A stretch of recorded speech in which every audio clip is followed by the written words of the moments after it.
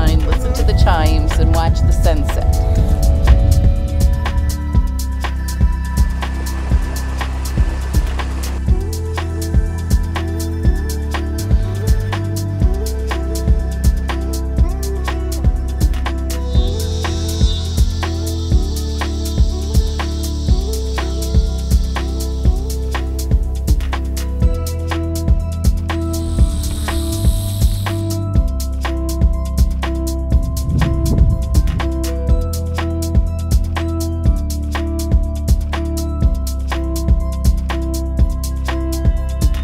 I had a huge surgery three months ago, and like I'm pretty much back to normal. A friend like you comes once a lifetime.